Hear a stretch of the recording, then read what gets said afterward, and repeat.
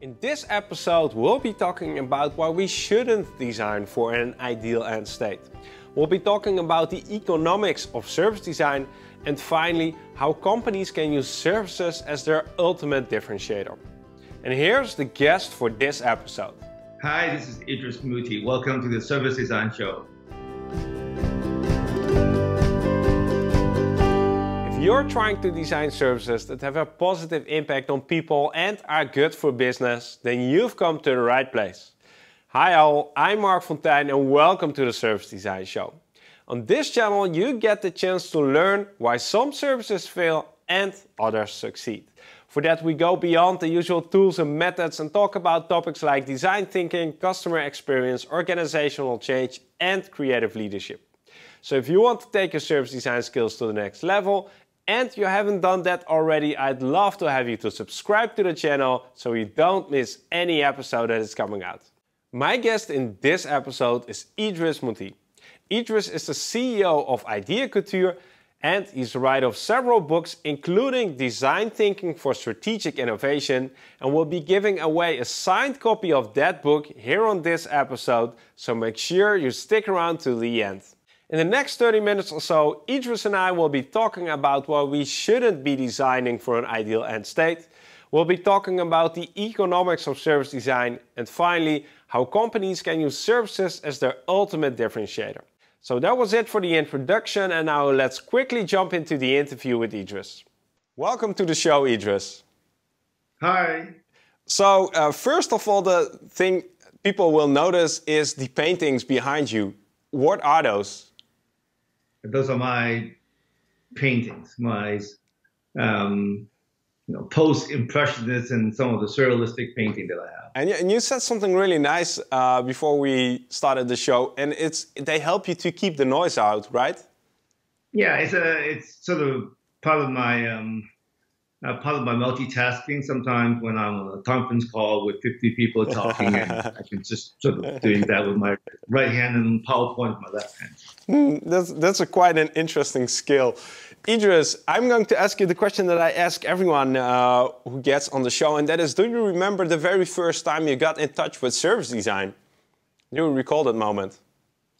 I think so. I think probably about 20 something years back when um, when we were working with a client on on a UX um, strategy for a completely new business, and and they realized that there are so much um, considerations need to be part of that, and they decided to call it sort of the team decided to call it sort of service design. Uh, but then but then we are the people that involved were either traditional business analysts and uh, UX folks. So most people don't have an idea what it means. They know there's a gap, that something needs to be done, but there's no formal methodology or approach or process to do it.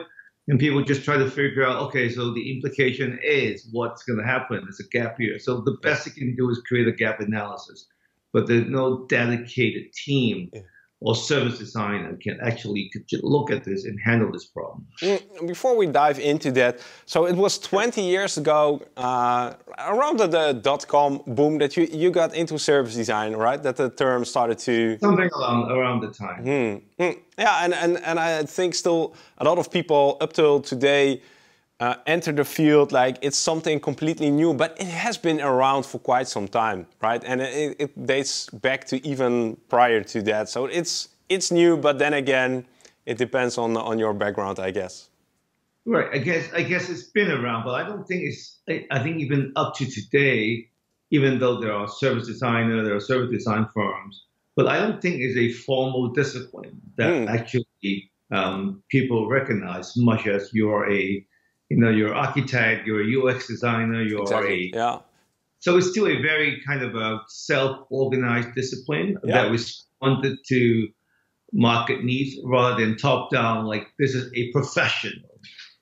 And uh, people are still debating, is it a field, is it a profession, is it a methodology, what is it? Anyway, we're not going to go into that because we can fill three hours with that topic we have much yeah. more interesting topics to talk about because you gave me three. I gave you some question starters, and we're going to co-create the questions and the topics we'll be talking about. Are you ready? Yeah. Okay. All right. Let's let's do this. First topic uh, is called designers thinking in an ideal state. Do you have a question starter? And you have one uh, paper, right? Okay. so, so how far? How far? So, yes. Um, What's the question? Sorry. What, so, what what question can you make uh, out of this? How far? Well, I think it's the. Can you put it up again? I forgot. Oh no, it's it's designers thinking in an ideal state. That's yes, the... I think most people look at this as um, this is where we are today. This is the ideal state where we we identify customer needs, and um, so we want to close the gap. Are ten things, yeah. fifty things we want to do better. Yeah, um, that currently causing pain or inconvenience for customers. So that's kind of like the approach. But I don't think that's right. I don't think it should be there's an ideal state. There may be some interim milestones because customer service, service design, customer experience is constantly evolving. People are changing because of maturity of certain products, uh, market shifting, um, technology is moving, and there's more getting in the ecosystems and holds a lot of reasons.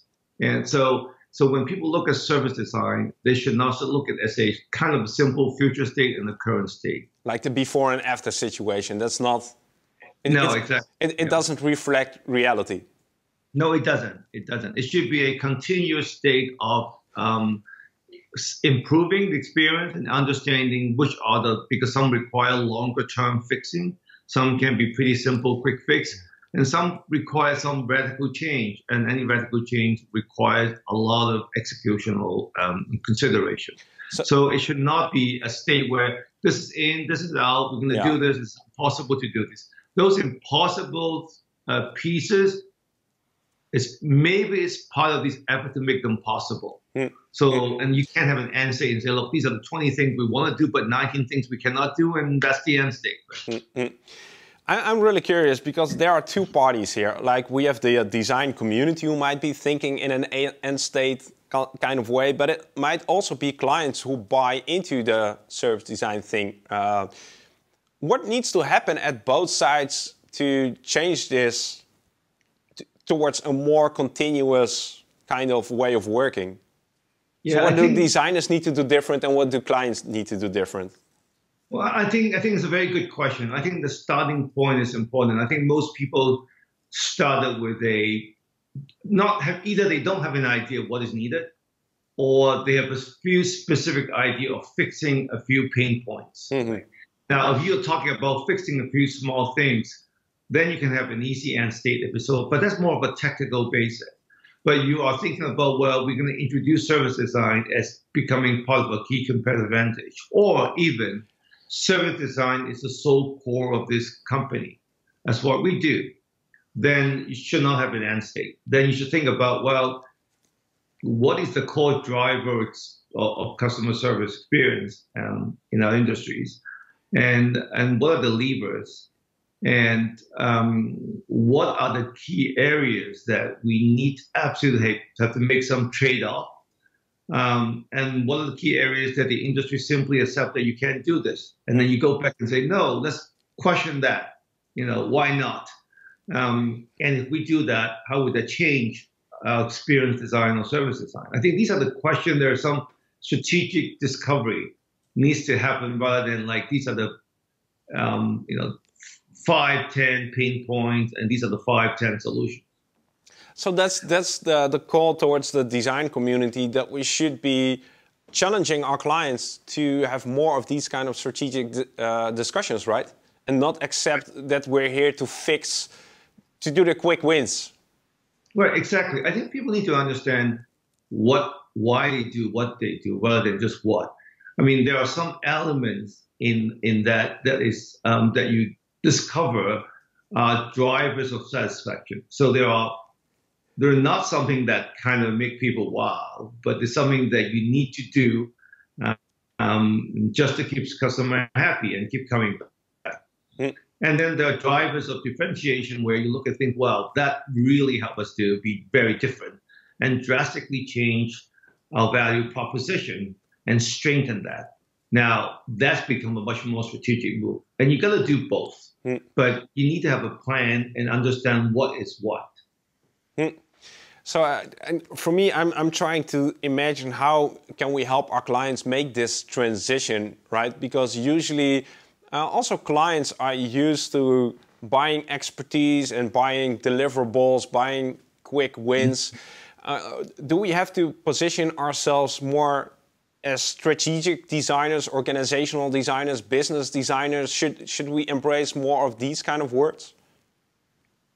Um, I, I, mean, I think that's um, not that's not a simple answer for that. I mean, in an ideal world, I mean, yes, but in a, in the practical world, I think service designs are just learning to do their job well because it's an industry where it's driven or advanced by the practitioners, not by academics, yeah, not yeah. by large companies, yeah. um, not by big consulting firms. Because large firms come in and look at it, they, they take a different view. They look at sort of operational service reengineering is really to optimize right costs and, and, efficiency, um, and it's it, it's it's cost based, um, but you know service design is not only cost. You try to bring into you harmonize a trade-off between cost, customers, and everything else. Mm-hmm, mm-hmm. So it, it is it is implicating part of the organization design, but I don't think currently the current state of service designers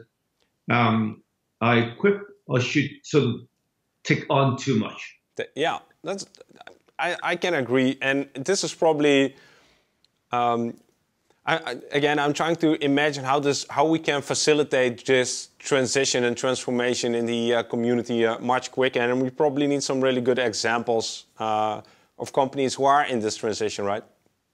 Yes, um, because if you if you look at how, I mean, the most common tool for service designer is what? Service journey mapping, right, or customer journey. Sure. Mapping. Yeah. Everybody, you know, you have you have a big spectrum of like, you know, one slide and five dots to like complete a room full of journeys and map and we all know them. Yes, yeah, based, based on uh, statistical data and ethnographic data and or some just random kind of ideas. You know, make up some happy here and here and here. Yeah. Now, I think I think that that tool is a starting point. But the tool needs to be much more sophisticated because you're mm-hmm. looking at a customer view. So I think that's a good starting point. Now, doing it right is one thing. Doing it is still better than not doing it. Then then that's only a customer view. And in order for a designer or strategist to make good recommendations, you have to look at the process view of the organization, right? Any large organizations are like a machine. So there is a process view. Uh, there's a system view when you look at sometimes for very complex financial products, there's a lot of external and regulatory. So we have a system view. And then where information comes, that's a data view. So by the time you bring everything together, you have a pretty good idea of um, why something needs to be done, cannot be done, why something that absolutely needs to be done. Um, but that's kind of like a more sophisticated uh, way of doing mapping, mm-hmm. and you get better results. I'm going to wrap up this topic uh, by saying what I've got out of this is that uh, we can we can look at the journey and look at the gaps and look at the end state um, but maybe we should transform the transition, uh, tran uh, uh, our discussion with clients in uh, towards much more. How can we prevent these gaps from happening in the first place, right? How can we be proactive? How can we design a, a customer experience, an organization, a structure that prevents these gaps from happening in the first place? That's maybe. Absolutely. I think the practical view is that by doing that, we're closing some gaps. Hmm. By doing that, and um, with some unintended consequences, we're opening new gaps because we identify, okay, these are the good stuff. And by the time the operation folks take over and say, look, we're going to happen. Yes, we're going to automate it, automate it, automate it. And then you're realizing by doing that, you have a second, different levels of gaps. Yeah. So, so this is a challenge. That's why it never should not be simple end state. And the starting point should have operational consideration. Mm. Service design touch on many things. Uh, it touches on marketing, uh, the front end of that. It touches on um, operations, logistic. It touches on customer service because usually customer service are entirely separate department, handle customer complaint and service call. And operation is one separate entity. Some people actually outsource the whole operation to other logistic company. So, and without the full view of these things, you can design what you design, but uh, how what you can impact is a different story. You already touched upon the word um, operations, and that is uh, the key of topic number two we're going to talk about. And let me put it in front of the people who are watching, um, and it's called the economics of operations. Do you have a question starter? Will it yes, be the same or a different one? Very simple idea. How much?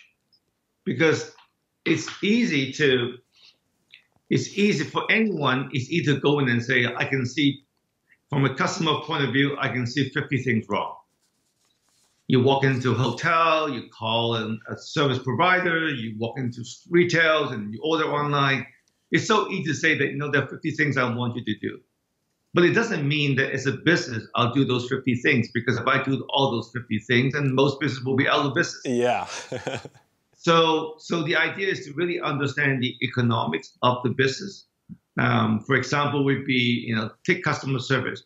What is the expectation it's easy to say that, okay, we want every customer to be happy. But let's be realistic. Not all companies can afford that, and they should. So how do you understand, like, what is sort of the service level mm. that, what level of service is required to get people happy? Um, and then you look at the variance of service failure that sometimes, you know, things mishap will happen um, what's acceptable. So there's some operational statistic to look at to identify the problem. Right? Um, do you need 99% uptime or you need 80% uptime? is fine. Um, and then you look at the um, interaction between human uh, machines and human. Um, you obviously want to automate as much as possible from an operational perspective. Um, you know, whether it's a call center, whether chat box, all of those things you want to automate everything. But on the other hand, you want to humanize everything. And how do conflicts come in between operational and service design? And so how do you make the best of both with something that machine does really well? Let's use machine. And people do really well and use people or overlay a layer, a layer of a human service on top of um, machine automation. So these are the things that service designer needs to think about, which um, traditionally people only look at, okay, you click here, you click here, your apps here. I mean, these are sort of much more simple problems to solve. Not that these problems are not real, but I think that most, that one is an easier problem to solve, considering a larger problem to solve.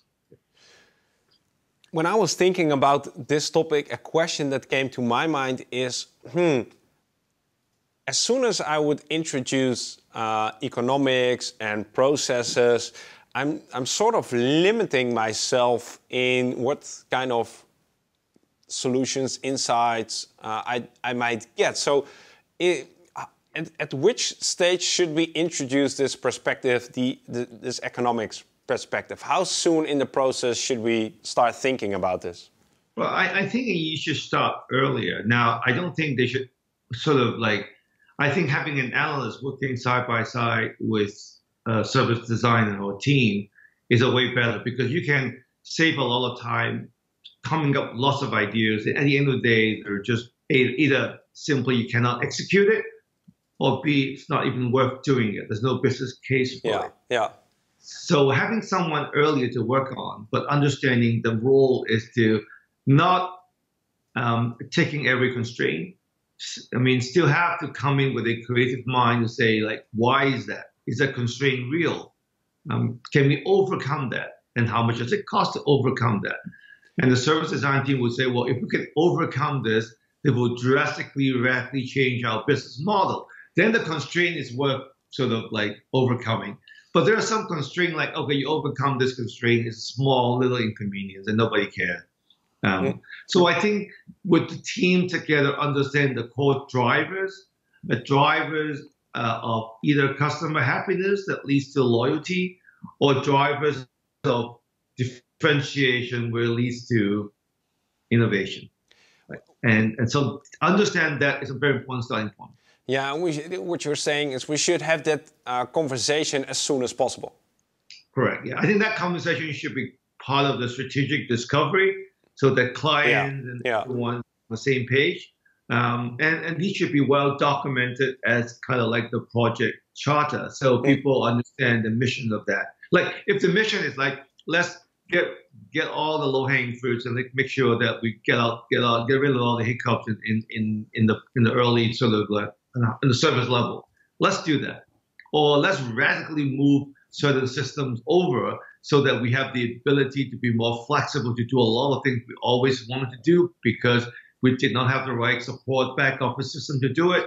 Now that's a different thing. So framing that in that way helped to understand scope and help to understand, you know, how much mm, economics so the implications that we are talking about. I think it's important to either to justify the business case and also any sort of um, the activities that require to uncover these things. Um, you again, you already touched upon something really important, and that is uh, differentiators, the e economic uh, uh, rationale behind services as differentiators, and that is the the title of topic number three. So let's just dive into that one. Um, here it is. I have it here in front of me. Service as a differentiator. Do you have a question okay. starter? Okay. So how can we do this? So how can we make services services as a differentiator? Yeah, I think most people are not seeing that. Most people are saying that look, let's do what we do to be up to par with our competition. And let's do it what right so that make it so easy to use um, and we benchmark our competition. And those are all good. But I think the biggest um, value for service design is like, how can we use that to create as, as a core element for differentiation? Because if you look at most business today, you most people outsource their technology, the operations, uh, logistic, um, manufacturing, yeah, yeah. even. So they pretty much kind of we assemble it, we own the brand, we sell the product. Um, and, and that makes it very hard when everyone's subscribing to the same service. You, know, you buy from the same manufacturers and use the same ERP systems and all of those things. So at the end of the day, every company wants to get out of the um, get out the competitive kind of spectrum to become yeah. different you have to do it very differently. So it comes from the human elements and emotive elements of designing. And service is a very powerful tool to create that connection. So, and that when you start thinking about that, you have the most powerful tool to help you to create that connection. The number two reason is is actually use that to change your business model. You look at some of the biggest tech companies today, um, you know, the Airbnb of the world, the mm. you know the Ubers of the world. I mean, they're technology companies, but I would argue that they're all service design companies. Mm. I mean, technologies are complicated, but not as complicated as others. But the whole idea of designing service and allowing to use the economics of, of people, you know, working part time and utilizing their homes, and these are all part of the service design. So you would argue that these are service design companies, they're not yeah, technology yeah. companies. And yeah. you use it as an example, every company should rethink their business model and say, like, if we are a service design company, how would we do things differently? How would we operate differently? What asset do we want to keep? What asset we don't want? So, of course, I believe this. Everybody watching and listening uh, believes this. And now we get um, onto board level. You, you, you do a lot of projects on board level. You meet CEOs, you meet uh, operational uh, chief operational officers. When you have this discussion with them, what is their biggest argument against this, or the fear of, or why aren't they embracing this mindset? Well, I, you know, every large companies have their own dogmas. So they've been very successful operating that way for a long time, and and most people don't see any idea to do something differently. Um, I think so. That's kind of like the fear of change. I think that's normal human being. You know, I've been doing this for 30 years, and now you tell me to do something differently. Yeah, exactly. Yeah. creating our assets and stuff like that, and designing our system to support this big machine, and and if you change part of this big machine, it will have drastic implications. So you have an operational challenge and headache nobody wants to deal with. Uh, you have uncertainty over the risk because currently our business is very stable. We can kind of, to some degree, um, to some accuracy, we can kind of predict our earnings and which you know, large company needs to report earnings to uh, the street. And when you start embarking on something that's not proven, you suddenly realize that, wow, okay, that's too much risk. And, and board members and, and senior executives say, well, why are we taking that risk? When we are making earnings every month and we're doing well, and there's no reason to do that until someone comes in and shows, wow, look at that. It's threatening us. But by then, they look at that threatening us either it's too late or it's too difficult. Mm-hmm. Um, and and that's kind of like the case, right? So, and number three, it's always that you, they really don't have the challenge. They don't have the, the, the people to, to take these kind of bold moves, and they're not empowered to do that. To be fair, because most of these service design ideas are not proven. And large companies operate on, you know, show me the data, show me the evidence. So if imagine if you uh, proposing to the board to start a new business where I propose um, that every young woman should jump into a stranger's car and ride home. Nobody want to do that. It's too dangerous. I believe that we should travel around the world and stay in some stranger's home Mm. Basically, you can do research, but mm. tell you no, nobody buys it. Mm. And what happened? Every millennial loves these products, and, and because they think this is the best thing ever. So how would a company make decisions when every data point telling you no, no, and no? Yeah, it can't be done until it's proven that it's done, right? That's uh, so. But this makes me kind of somber and pessimistic that uh, you know all the big companies who are out there, can we help them or should we, you know, are, are they lost?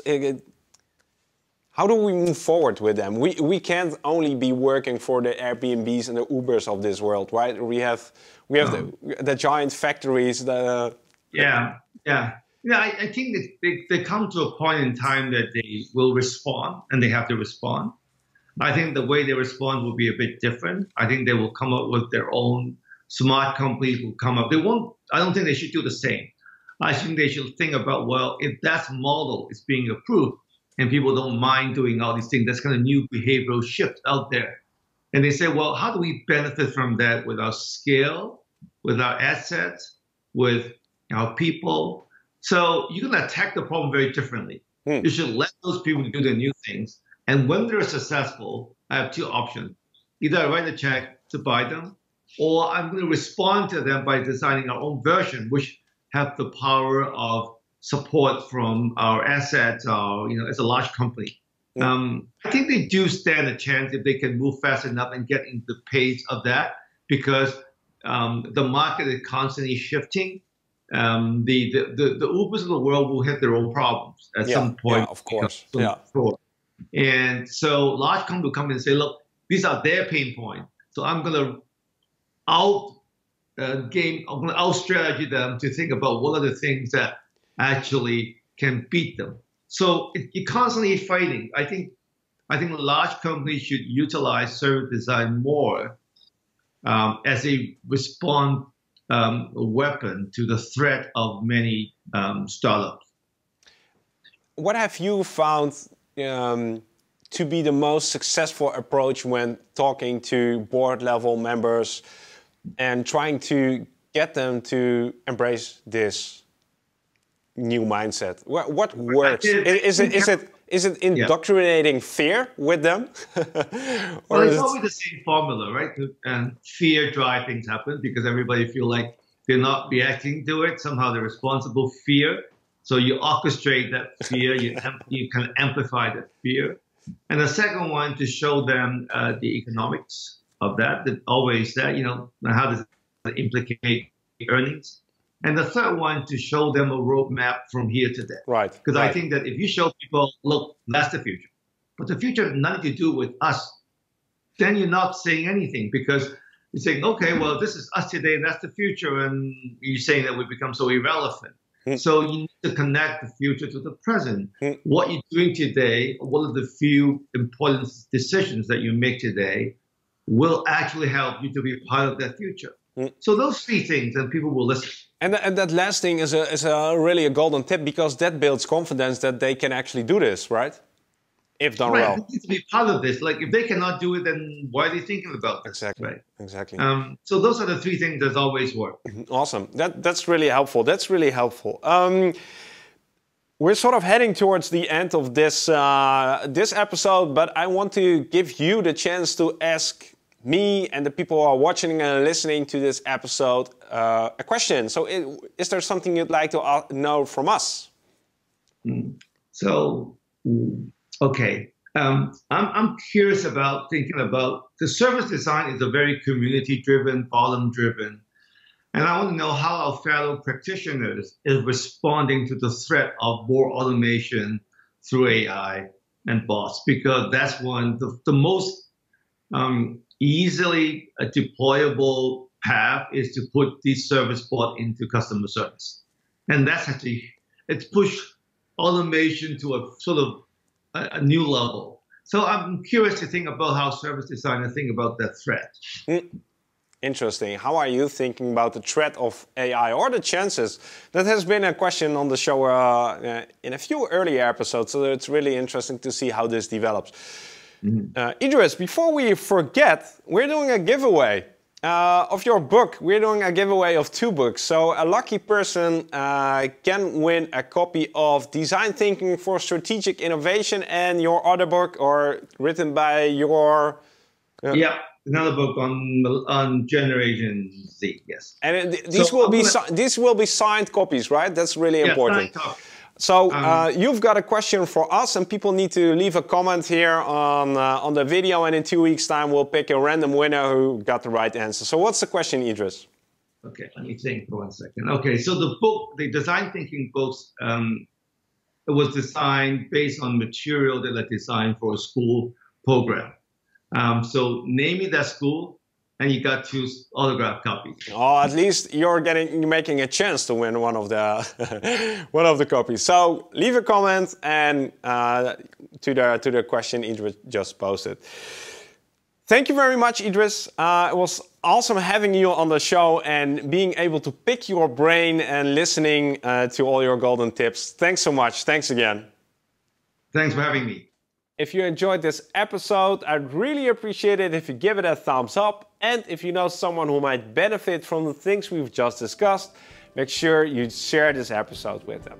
If you'd like to learn more, check out some of the past episodes or head over to the Service Design Show University at learn.servicedesignshow.com where you'll find courses by leading service design experts that dig deeper into the topics we talk about on the show. Thanks again for watching and I look forward to see you in the next video.